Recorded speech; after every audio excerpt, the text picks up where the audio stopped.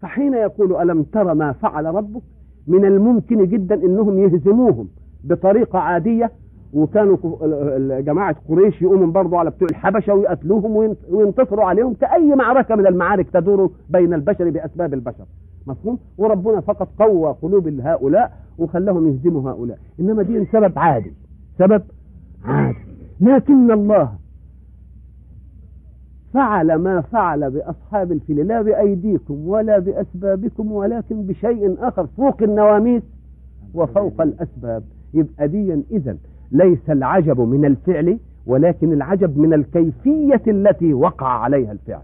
لذلك قال الحق سبحانه وتعالى ألم ترى كيف فعل ربك بأصحاب الفيل؟ كيف فعل ربك بأصحاب الفيل؟ وفي قول الحق سبحانه وتعالى فعل ربك ما قالش ألم ترى كيف فعل الله؟ إنما جاب صفة الربوبية والربوبية هي التربية وهي التنمية وهي موالاة المربي للمربى حتى يبلغ إيه؟ كماله. فكأنه بيشير إليه إن اللي فعل ده بأصحاب الفيل هو ربك أي متوليك. وكما صنع ذلك في أصحاب الفيل بلا أسباب عادية في أعراف البشر فكذلك سينصرك الله بلا أسباب عادية في أعراف البشر. وإحنا عرفنا نعرف إن حادثة الفيل حدثت في ميلاده في ميلاده إيه؟ صلى الله عليه وسلم. حين بقى نقول فعل ربك يجب أن نستقبل فعل ربك بقانون الله لا بقوانيننا. ليه؟ قال لك لأن كل فعل يأخذ قوته من قانون فاعله. وما دام كل فعل بيأخذ قوته من قانون فاعله يبقى لما أقول مثلا خطب طالب. طالب الاعدادي خطب طالب الثانوي خطب طالب الكلية خطب الأستاذ خطب الأديب أخذ الخطبة بمدلول فاعلها وبقانون فاعلها. ما اخدش الفعل من من من, من واقع والقانون من واقع آخر. ما أقول ما دام فعل ربك نقوم نقول عال. اذا المسألة وضعت إلى فعل مين؟ فعل الله. فعل خلق الله مبني على الأسباب والمسببات والعلل والمعلولات والمقدمات والنتائج والوسائل والغايات. ده فعل البشر. لكن فعل الحق حين ينسب إليه يبقى ما يكونش له هذه القوانين. فما تقعدش تفسر في فعل ربنا بما تفسر به في فعلك أنت. بما تفسر به في إيه؟ في فعلك أنت. فعل ربك يعني خد المسألة على إن ربنا الإيه؟ الفاعل. خالق الأسباب يبقى من غير أسباب. من غير مقدمة. من غير نواميس. آه يبقى فعل ربك بأصحابه وفي ذلك في قوله فعل ربك رد على طائفة العقلانيين. العقلانيين اللي حبوا يستقبلوا أفعال الحق سبحانه وتعالى بقانون البشر. يستقبلون أفعال الحق بقانون البشر. ولذلك كانوا يردون كل شيء ما يدخلش في معقول البشر ولا في قانونهم. ويحاولون أن يؤولوه. بما إيه؟ بما يخضع لقانون البشر وإيه؟ وفكرهم وعقلهم. المدرسة دي طبعا إحنا في أوائل النهضة الحديثة. تعرفون الشيخ جمال الدين الأفغاني طبعا. والشيخ محمد إيه؟ الشيخ محمد عبده. آه طبعا كان اتهم الإسلام بالغيبيات بتاعته والغيبيات دي مفهوم إن يعني بيقف فيها الناس كتير. آه وخصوصا في العقول المادية اللي هي زي ما بقول عقول رياضية. عايزة واحد وواحد إيه؟ اثنين وتعزل الرسالات والنبوات عن مرسلها وهو الله. وعايزة تفسر الأشياء بناموس الإيه؟ بناموس البشر وبناموس الكون فلما جم عند حادثة زي دي زي الشيخ محمد عبده قال لا طير أبابيل دي أن كانت جايبة ميكروبات ها؟ جدري آه ميكروبات وجدري ومش جدري ولا ليه؟ أم قال لك لأنه هم مستبعدين أن طير تجيب حجارة وبعد ذلك الحجارة تنزل على ال دي مسألة يعني العقل مش مش مش قابل أقول له ليه؟ وأنت بتدرس النبوات على أساس إنها نبوغ بشري ولا إيه؟ عبقرية إنسانية. أنت بتنظر لتنظر بتدرس النبوات على أن الأساس الأصيل أنها مرسولة من الله وممدودة من الله. الله اذا أنت ما تلغيش هذه القوانين. كن عقلك. ما سعهاش عقلك ليس حجة. وإلا لو حكمنا العقل عقلك أم عقلي أم عقل أي إنسان؟ ما هو العقل الذي يتحكم في هذا؟ عقولنا تختلف في الشيء الواحد. فعقل من هو الحجة؟ عقلك أنت؟ ما دام ربنا بيقول أنا فعلت وفعل فعل فعل الله يبقى قانوني أنا ماله. طب أنت لما تحب تفسرها بأنها جابت ميكروبات و إلى آخره زي مثلا بعوضة الجنبية لما جابت ال- ال- الملاريا مثلا في مثلا. ده أسباب عادية. أسباب عادية. الله. طب اذا أنت بدك تفسرها بأسباب عادية وكأن السماء بمعزل عن هذا الحادث. كأن السماء بمعزل عن هذا الحادث. فنيجي نناقشك المناقشة. هؤلاء القوم تورطوا ورطات خطيرة جدا. هذه الورطات إنهم كانوا ساعتها يجدون الغربيين أو خصوم الإسلام يتهمون الإسلام بشيء. يقوم يحاولون جاهدين إنهم يردوا ذلك الشيء. ساعة ما يحاولوا يردوا ذلك الشيء حمسهم في الرد يوقعهم في غلطات كتير. حمسهم في الرد يوقعهم في غلطات كتير. مثلا اللي كان مؤرق الاستعمار في الهند وفي السودان الثورة المهدية والثورات اللي قامت في الهند الجهاد ساعة ما يعلن المسلمين الجهاد في سبيل الله كل واحد بيدخل بإيه؟ درسه في المعارك. فكان اللي بيضايقهم كله إيه؟ فكرة الجهاد. فأشاعوا وقعدوا ضدهم إن الإسلام نشر بالسيف وبالعدوان ومش عارف ليه ليه ليه ليه ليه ليه الكلام الفاضي بتاعهم ده. مفهوم؟ وكان الرد عليهم رد بسيط. نقول له السيف نشر بالإسلام إزاي؟ طب القوم الذين حملوا السيف لينشروا الإسلام بالسيف. أسلموا بالسيف؟ اللي حمل السيف ده علشان ينصر الإسلام بالسيف. هو أسلم بالسيف؟ ما أسلمش بالسيف. إذا المسألة مردودة من الأساس. محمد جايب سيف كده ويقول له اسلم. محمد ضعيف واللي كانوا وياه ضعاف. فالذي مسك السيف لي لي ليفتح البلاد بالسيف للإسلام. أسلم بالسيف؟ ما أسلمش بالسيف. إذا المسألة مردودة. فجي منهم ناس يعملوا منهم اللي يضرب ومنهم اللي إيه؟ اللي يلاقي. يقول يا ناس أنتوا بتتهموا ال- ال- الإسلام بإنه انتشر بالسيف. سيبوكم من النغمة دي. سيبوكم من النغمة دي. الإسلام ما بيستعملش السيف ده إلا بس لرد العدوان. ما حد يعتدي عليه في دينه بس السيف قاموا من المسلمين ساعة ما شافوا الكلمة دي من المستشرقين قالوا هكذا الإسلام. الإسلام ليس له إلا إيه السيف للدفاع. وهذا هو المقصود للكيد من هناك. إننا نوقف الإسلام عند مراد واحد وهو إذا اعتدي علينا نبقى نحارب. ما اعتديش نفضل كده ومنهج الضلال يبقى مستشرق. آه. وقعدوا كده فأفقدوا الإسلام مهمته الأساسية اللي ربنا جعلها له وهو أنه لازم يحارب كل طغيان. يجعل حريات الناس مكبوتة في أن يختاروا العقيدة اللي لازماهم علشان كله يبقى مبدأ بضلاله يستشري وقعدوا بقى فأفقدوا الإسلام إيه؟ إيجابيته. أفقدوا الإسلام إيجابيته علشان يفضل الإسلام كده. والمسلمين اللي دفعوا الدفاع ده غرهم ساعة ما شافوا كلمة من المستشرقين قعدوا إيه؟ ينموا فيه. كذلك يقول لك الإسلام ده فيه حاجات كثيرة حول سيرة الرسول غيبيات كده لا يصدقها العقل ها؟ ومش عارف إيه كذا وكذا وكذا. فقاموا ناس يقولوا لا يا شيخ دي ما حصلتش ده تفسيرها كذا وكذا وكذا وكذا بالعقل. آه عشان يعملوا إيه؟ عشان يبعدوا عن الإسلام إن هو مولغ بالإيه؟ في الأمور الغيبية وال وعزلوا حياة الرسول عن المعجزات بتاعته وعزلوا عن خدش أسرار الكون عزلوها وخلوه إيه؟ بشر عادي. ولذلك تجد مثلا واحد زي هيكل في كتاب السيره بتاعته قال أنا هنحي المعجزات اللي حصلت لرسول الله وأبعد الغيبيات دي وأبحث فيه كإنسان. الله. كإنسان عبقري يعني. فاهمين إن إحنا نسر قوي لما يكون محمد القائد الأول في الإنسانية. محمد العبقري. لا يقول أنا لا عايزه لا قائد ولا عايزه عبقري. أنا يكفيني أن تقول أنه رسول الله. فجه بقى الشيخ محمد عبده في مثل هذه الصورة. وبعدين قال برضه إيه ده ميكروب و إلى آخره. نقوم إحنا بنناقشه. أول نقاش. نقول له الحادثة دي اولا وثقتها تاريخي ولا ما وثقتوها؟ قال وثقناها تاريخيا. طيب. الحادثة دي حسب إمتى؟ حدثت في عام الفيل اللي هو العام اللي ولد فيه رسول الله. طب ورسول الله بعث بعد كم سنة؟ بعد أربعين. أوي ساعة ما رسول الله بعث بعد أربعين وقعد يتوالى نزول القرآن على أهل مكة كان هناك أناس سنهم خمسين وناس سنهم ستين وناس سنهم سبعين وناس سنهم ثمانين وناس سنهم تسعين وناس سنهم برضه مية وفيه مية وعشرين. الله. اللي سنه من أول حن... ما بلاش خمسين دي عشر سنين يمكن لسه صغير ما أدريش بالحادثه هنمسك من أول اللي سنه إيه؟ ستين. ستين شوف لحد قد إيه؟ يديني كام جيل. يديني أجيال كتيرة ولا لا؟ كأن رسول الله حينما نزلت السورة وقرأها على القوم القوم كافرون به. أدي أول حاجة وحريصون على أن يكذبوه.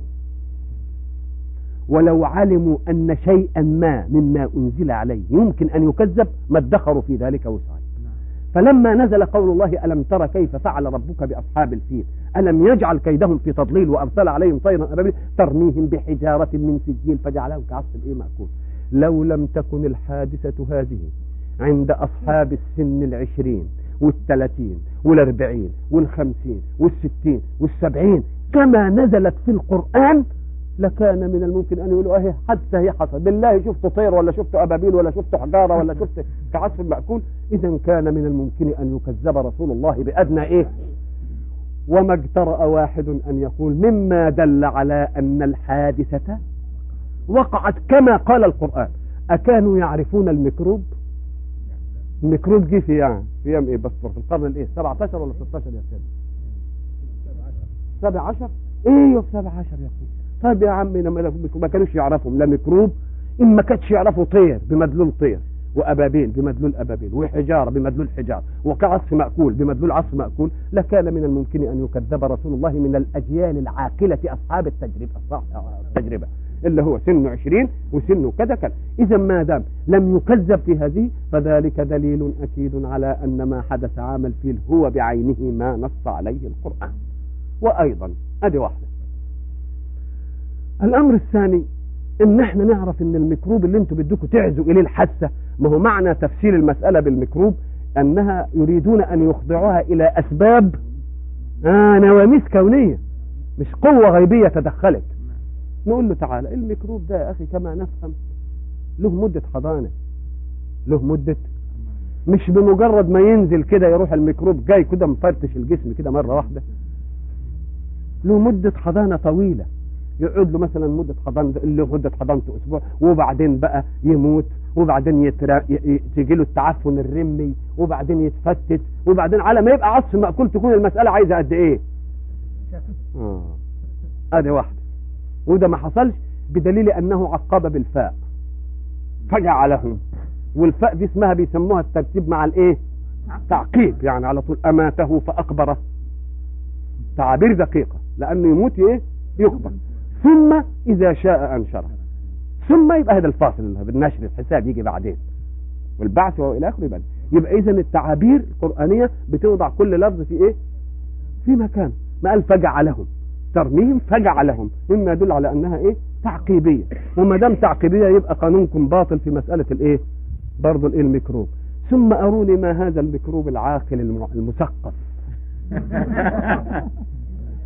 الميكروب المثقف الذي نزل على الأعداء بخصوصهم ولم يمس واحد من أهل مكة. إيش الميكروب ده؟ يعني ميكروب إيه يعني؟ ده إيه يعني؟ موجه يعني. ده صاروخ موجه. يبقى اذا كلامكم هذا كله كلام إيه ملوش بابل والمذهب اللي أنتم بتدافعوا أنا لا يعنيني إن هم الذي يكذب أن محمد رسول الله. كونه يكذب إن ما حصلتلوش دي إيه؟ طب ما خلاص ما انتهت. ده الأصل مكذب فيه. الأصل؟ طب كيف أصحح ما حدث وأنت مكذب له كرسول؟ ابقى أنا كتبت إيه؟ ما دمت أنت مكذب كرسول. لأن مسائل العقائد لا تؤخذ من أذنابها.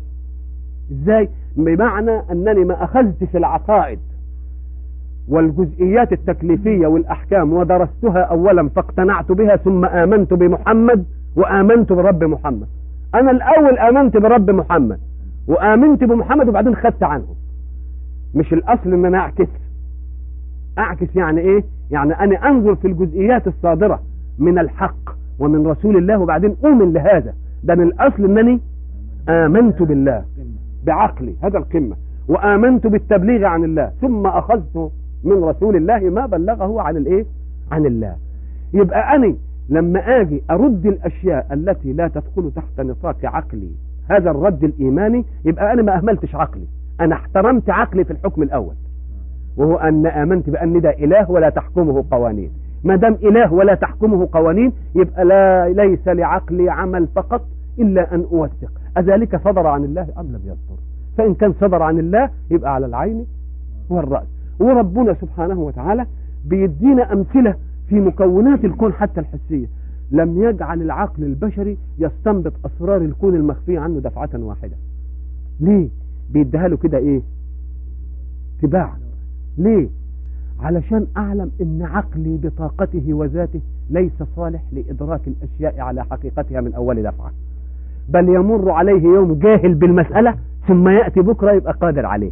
وما دام أثبتت له جهل أمس بدليل قدرات اليوم فأنا أثبت له قدرة غد على عجز الايه؟ على عجز اليوم. وهذا هو الطور في قوله سنريهم آياتنا. وما دام سنريهم آياتنا يبقى كانت مطمورة. فلو كان العقل البشري صالح بذاته لإدراك أسرار الكون لأدركها دفعة واحدة بمجرد وجوده في الرأس.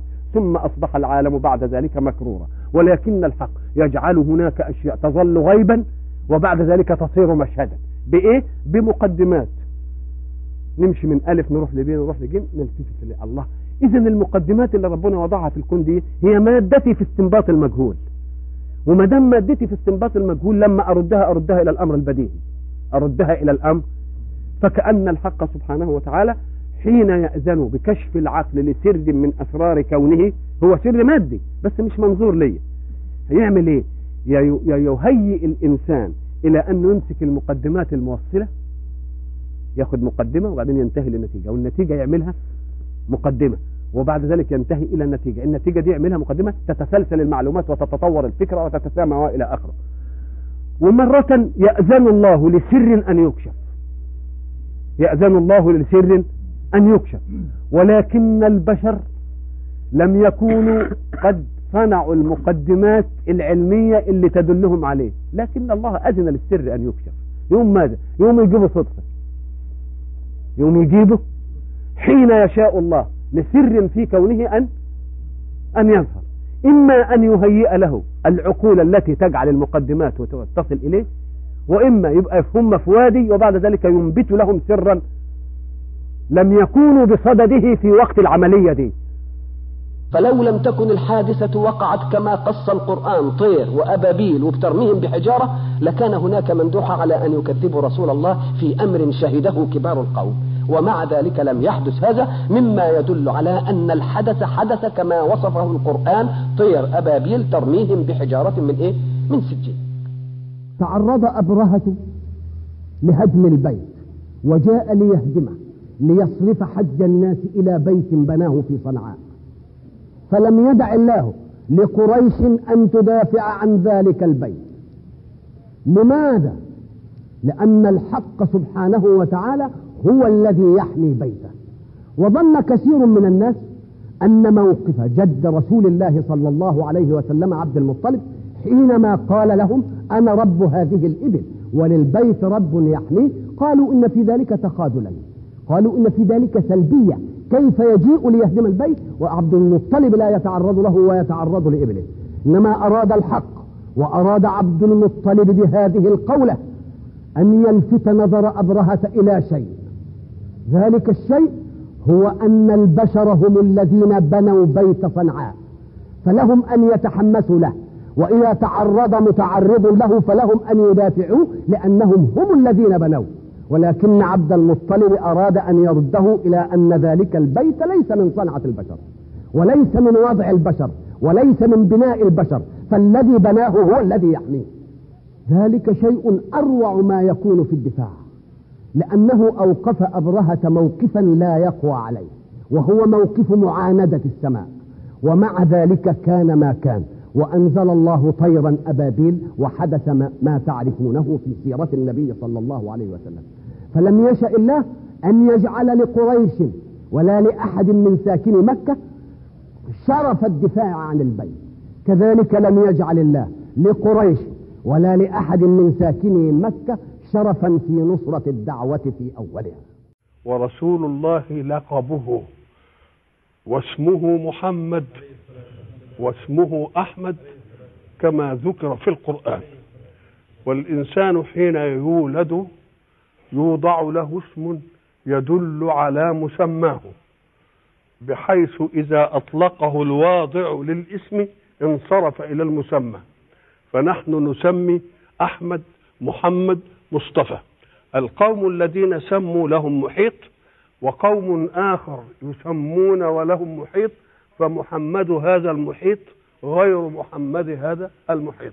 يبقى إذا النداء معناه طلب إقبال من واضع اسم أو عالم بوضعه إلى مطلوب.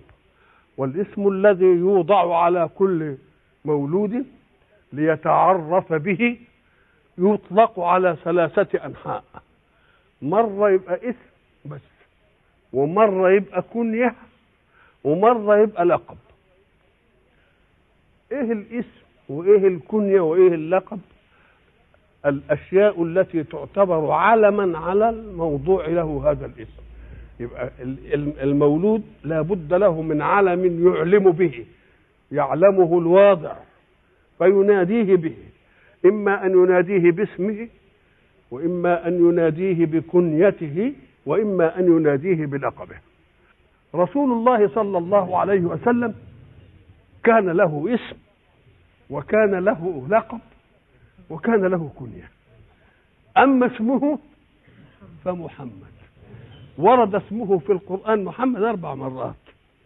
وما محمد إيه؟ ما كان محمد محمد رسول الله والذين معه إيه؟ أشداء على وما محمد إلا رسول قد خلت من قبله أفإن مات أو قتل. هذه أربعة محمد. واحدة بس اللي اسمها إيه؟ أحمد. ومبشرا برسول يأتي من بعد اسمه أحمد. وقلنا العلة زمان في هذه الإيه؟ في هذه الإيه؟ التسمية دي. كويس قوي وكنيته. قال لك إيه؟ أبو القاسم. أبو الإيه؟ أبو القاسم. ولقبه. رسول الله. يبقى استوفى العالمية في أوضاعها الثلاثة. استوفى العالمية في أوضاعها إيه؟ في أوضاعها الثلاثة. ما دام اللقب بيشعر برفع أوضاعه لما يكون الرسول بقى له لقب يبقى من النوع هم المشعر بإيه؟ المشعر برفع. رفع عند مين؟ عند الخلق. ما كانوش ما كانوش يعرفوا لسه هيبقى إيه محمد ده. إنما سموه الاسم الحلو اللي عندهم ولذلك لما تقول قال أنا سميته محمد عشان إيه؟ يحمد في الأرض وفي الإيه؟ على قده. لكن لما أرسله الله واختاره رسولا للقوم بقى الاسم اللقب بتاعه إيه؟ رسول الله. من الذي سماه بهذا اللقب؟ طيب أي لقب أرفع من أن يكون سفارة بين الله وبين خلقه؟ يبقى اذا الرسول والنبي ألقاب لرسول الله صلى الله عليه وسلم وهذه الألقاب تشعر بالرفعة لأن الذي وضعها ربه اللي المقاييس عند عنده عالية أنت لما بتضع بتضع على قدك في المقاييس إنما واداها له مقياس مش عندكم أنتم ده اداله شرف آخر إنه يبقى شرف عندكم وشرف عند مين؟ عند من إيه؟ من أرسل. الله أعلم حيث يجعل إيه؟ يبقى اذا أحب شيء في الإعلام برسول الله. أن تقول محمد. أو أن تقول أبا القاسم. أو أن تقول النبي والرسول. يبقى النبي والرسول. ولذلك لا تجد خطابا ولا نداء لله إلى نبيه. ما قالوش يا محمد ابدا. ما قالوش يا أبو القاسم ابدا. إنما جاب إيه؟ اللقب. اللقب اللي هو من اللي وضعه. هو اللي مشعر بالرفعة مش بالرفعة عند البشر بالرفعة عند مين؟ عند الحق. فلا تجد نداء له إلا بقوله يا أيها النبي يا أيها الرسول وإذا قارنت ذلك بنداءات الله لرسله من آدم لا تجد رسولا نودي إلا باسمه. إنما ما قال لش يا محمد ابدا. خطبناه بمين؟ باللقب. اللقب اللي هو مشعر بالرفعة. رفعة عند مين؟ عند من خلق ويعلم رسالة من إيه؟ من أرسل. يا أيها النبي امال جاب ليه اسمه محمد بقى؟ أم قال لك ده مش في النداء. ده في الإخبار عنه لنعلم أن الرسول اسمه محمد. فكان ولا بد أن إيه؟ فإذا كان إخبار أو تعليم بأن محمد رسول الله وما محمد إلا رسول. ده مش نداء بقى. ده إخبار عنه. وما دام ولذلك برضه وفي الاخبار أو في الإخبار لقد يجيب برضه الاسم الثاني. لقد جاءكم ما قالش محمد بقى. قال لقد جاءكم رسول من أنفسكم. وقال الرسول يا ربي إن قوم اتخذوا هذا القرآن مهجورا. الله. حتى في الإخبار بقى. يبقى في النداء استقل بيا أيها النبي ويا أيها الرسول.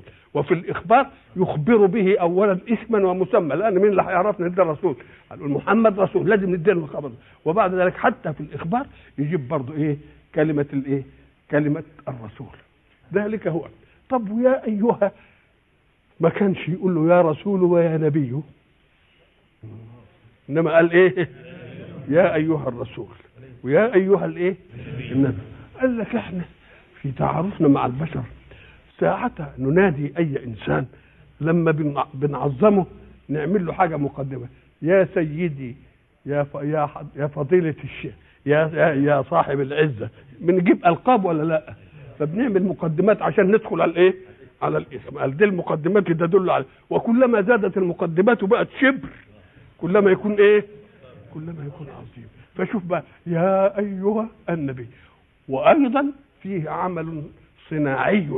إيه؟ الصناعي في النحو اما قال لك لأن النداء لما فيه ألف ما تقولش يا الرجل يا النبي. إنما تيجي تقول تعمل لها مقدمة تقول إيه؟ يا أيها النبي. ما تقولش يا نبي ولا يا رسول. خلاص كده؟ ولا ينادى ما فيه ال إلا شيء واحد وهو الله سبحانه وتعالى. لا ينادى ما فيه ال إلا مين؟ الله إلا مع الله ومحكي الجمل. ما يمكنش تنادي اسم فيه ال إلا مين إلا لفظ الجلالة. و- والجملة إذا سمي بها إذا سمينا واحد إيه؟ ش- واحد مثلا آه، شاب قرنه. نقول إيه؟ إيه؟ نقول إيه يعني؟ يا من شاب قرنه. يا الذي شاب قرنه. إذا سمي بالايه بالجملة.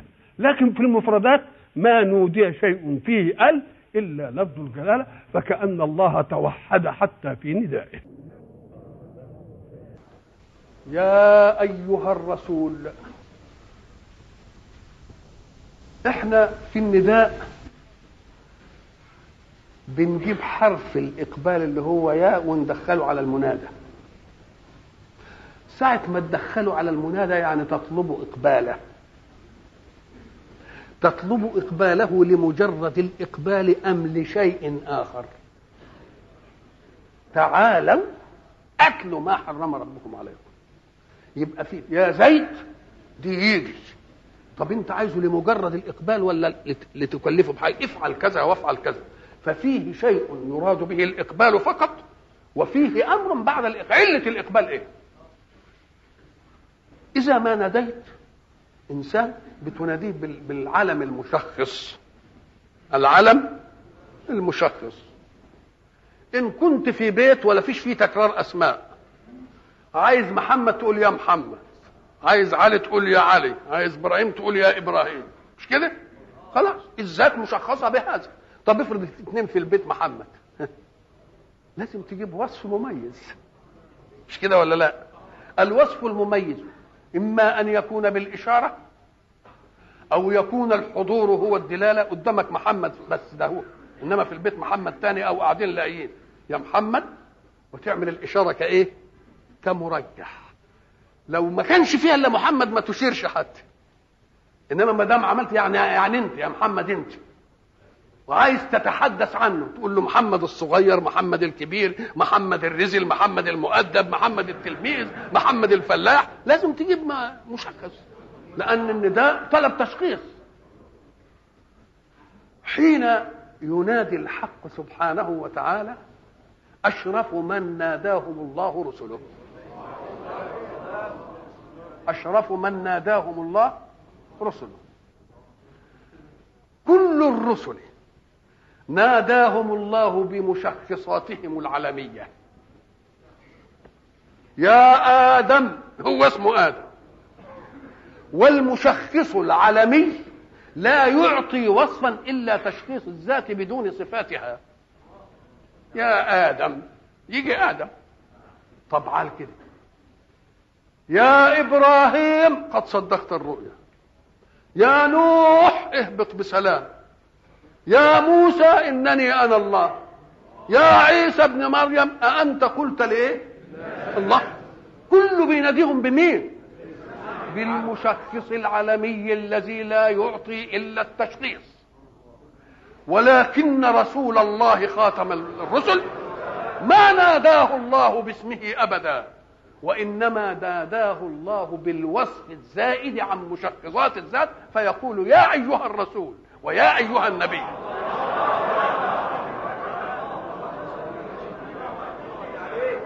الله. بقى كل ما هم كلهم رسل.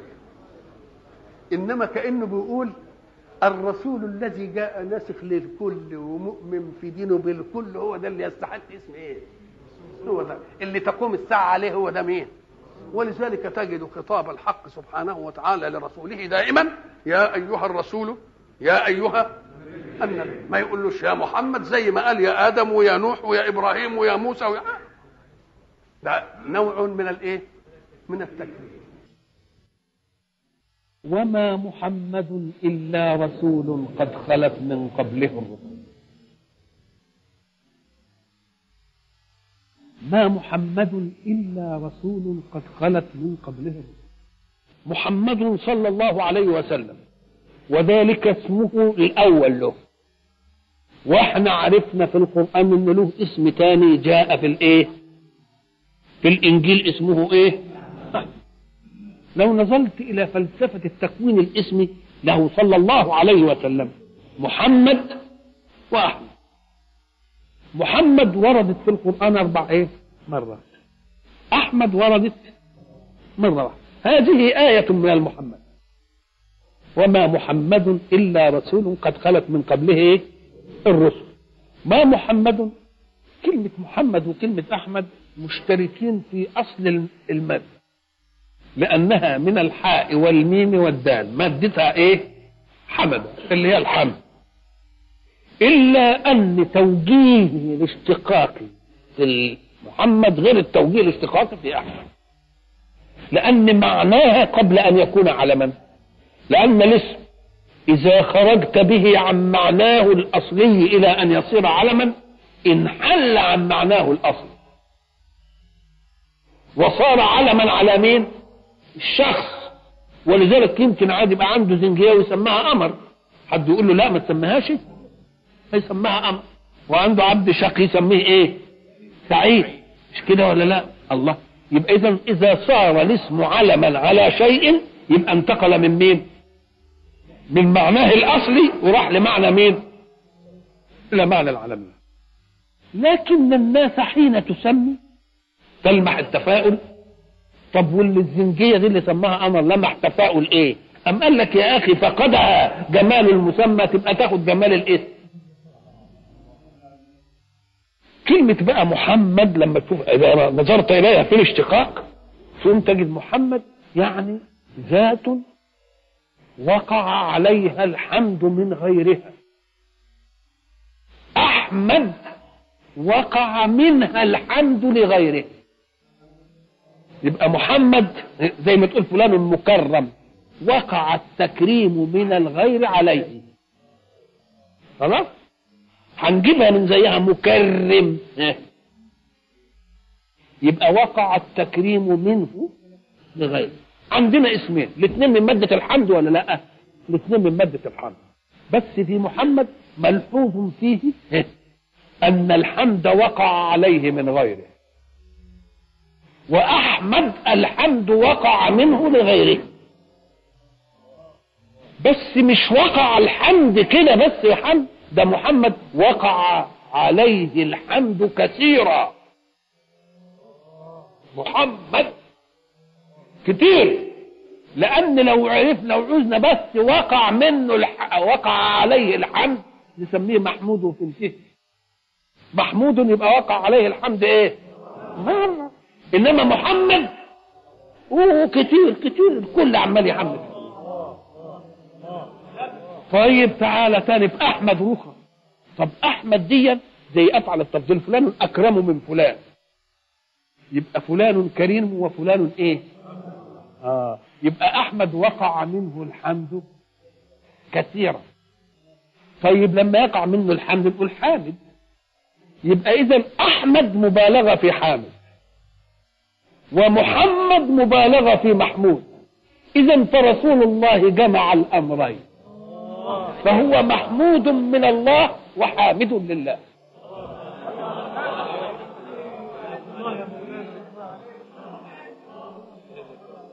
يبقى محمود به محمود مبالغة فيه محمد. من مين؟ آه. طب وحامد؟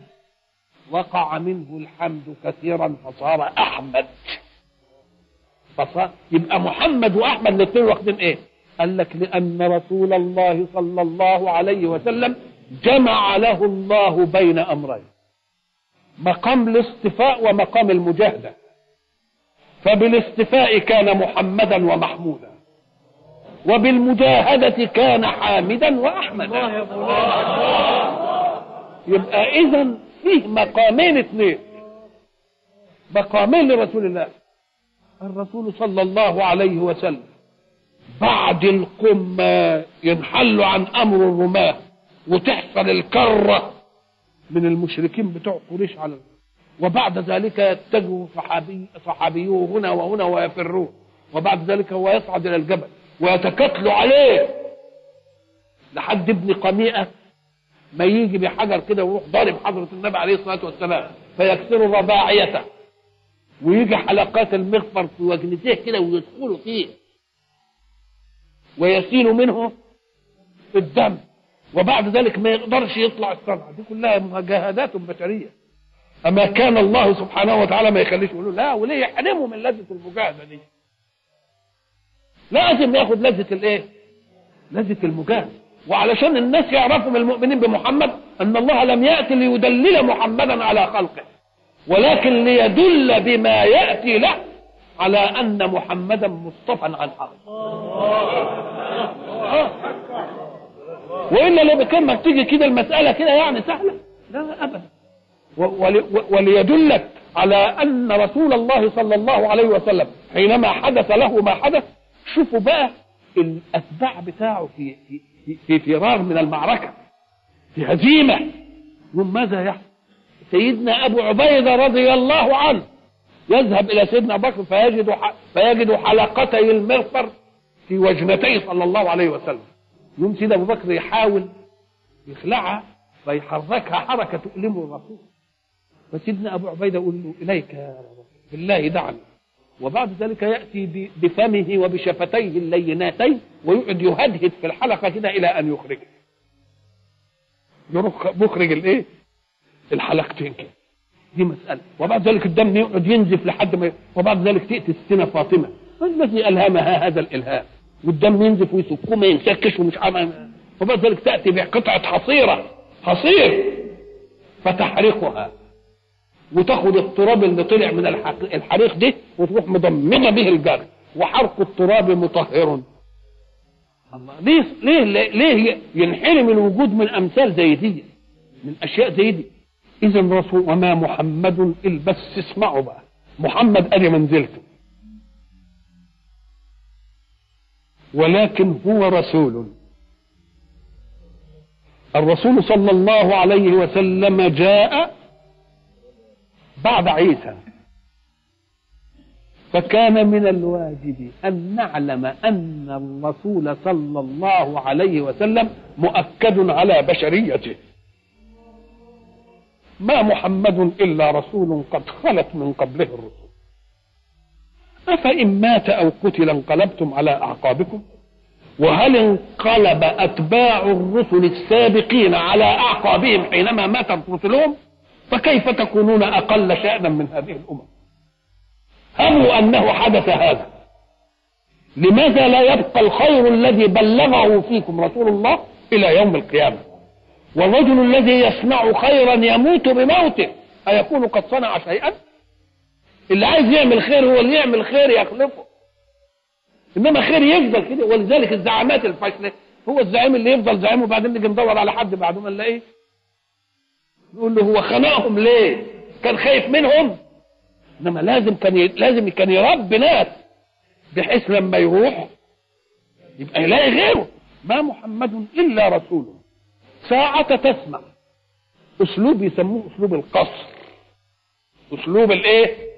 القصر يعني بيقصر محمد على الرسالة. طب إذا قصرت محمدا صلى الله عليه وسلم على الرسالة يبقى معناه أنهم كانوا فاهمين إيه؟ يمكن كانوا فاهمين إن هو أكبر من رسول شوية ولا يموتش. فقال لهم لا هو إيه؟ هو رسول. حتى الذين كانوا يحبون إيذاءه في اسمه هو اسمه محمد كما قلنا ومحمد يعني ممدوح من الايه من الكل. ومش ممدوح بس ده ممدوح بكثرة. فيجي خصومه يريدون أن يهجوه ويشتموه ويلعنوه. يوم الله سبحانه وتعالى يصرفهم حتى عن شتم الاسم مش المسمى. هم من شتموا الاسم المسمى مش هينشتم لكن برضو أراد الله أن يصعد العصمة. فقال ولا اسم يشتموه طب إزاي ولا اسم يشتموه أم قال إيه؟ أني سألهمهم أن يسموا أن يسموا المشتوم عندهم بدل ممدوح يسموه مذموم. ويسموا بدل محمد مذمم. ويسموا بدل محمد إيه؟ ولما يلعنوا ويشتموا ما يشتموش الاسم محمد يشتموا الاسم اللي هم بيقولوه مذمم يقوم رسول الله يضحك. لما سمع ما قالته أم جميل امرأة أبي لهب مذمما أبينا. مسمم يعني تقصد مين؟ تقصد محمد. بس ما قالش محمد بال- باللفظ المكرم عن إنها تقول جابت اللفظ المقابل. مذمما أبينا ودينه قلينا وأمره عصينا. فيقول رسول الله صلى الله عليه وسلم ألا تعجبون؟